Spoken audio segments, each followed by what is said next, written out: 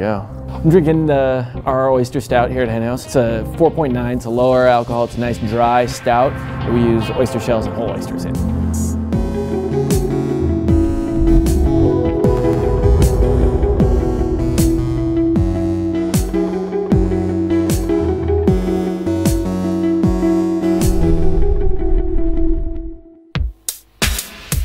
It was once said, always start with oysters.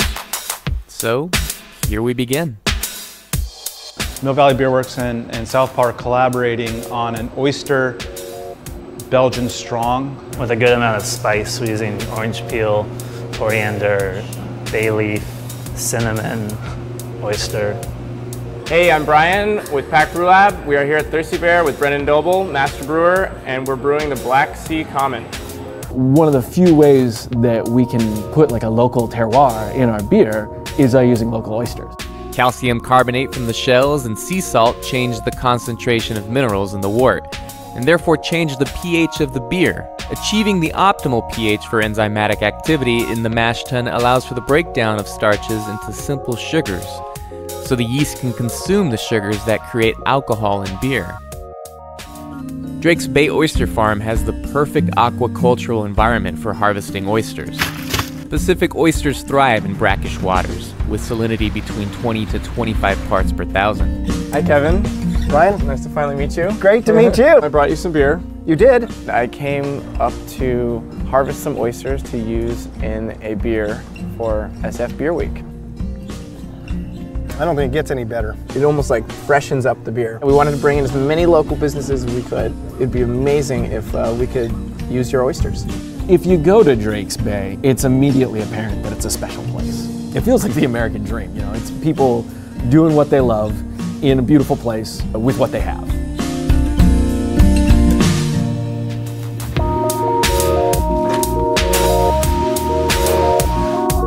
I've been involved with the small batch brewing community in San Francisco area for a few years. And so it was fa fairly seamless for me to make that transition from home brewing to being at Southpaw. And those connections actually helped me to get where I'm at. Everything leads to a con conversation, which leads to an opportunity. Smells orangey. It's got some spice to it. Yeah.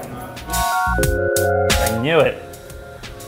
Someone took We some. have an oyster thief. The oysters are plunged into a steeping hot kettle of water known as the mash tun. At 152 degrees Fahrenheit, the oysters, along with the malted barley and other ingredients, experience a mild enzymatic digestion. You can hear the screaming, can't you? Oh man, this beer is not gonna be like vegan. That's not very San Francisco. 50% at the end of the boil is just going to be the shells and the liquor. So who knows where the actual oysters are going to go. I still homebrew. I, I, really, I have a passion for it, and my wife loves loves beer, so you got to keep the wife uh, happy. It's at home, you know, my kitchen's a mess. Um, trying to sanitize things in the bathtub, and then I, I was sanitizing everything. Plastic sheets up, you know, because I thought these bugs are gonna get into the beer and make it terrible.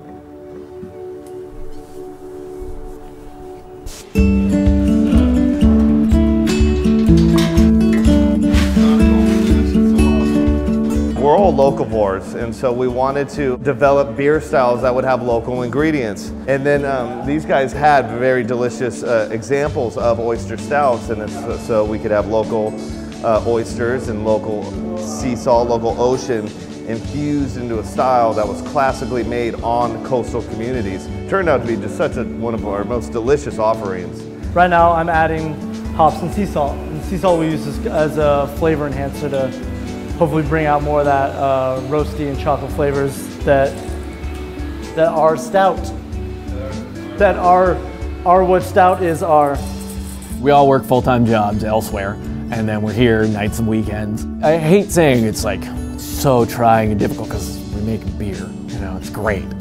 At the same time, you know, we're we're working our asses off to make two barrels of beer a week. We took the concept of weekends and threw it right the fuck out of the window. That's what we did. Man, weekends are for pussies, let me tell you. Though, though someday, someday I, I want, I want weekends back.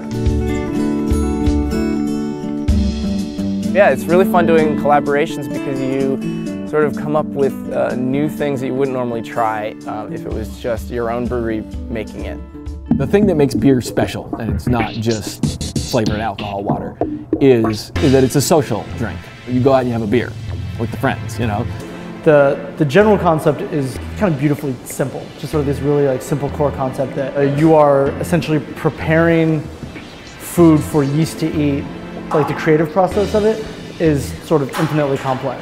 It's expressive to me. Like I play music too, and I kind of treat it the same way as like making something that reflects you and reflects your environment. That's the reward is because of something you made, you've changed the way that their perception of beer is. We want to bring in all the people who are excited about beer, and we want to give those people a place to meet, a place to talk, and a place to kind of grow a community.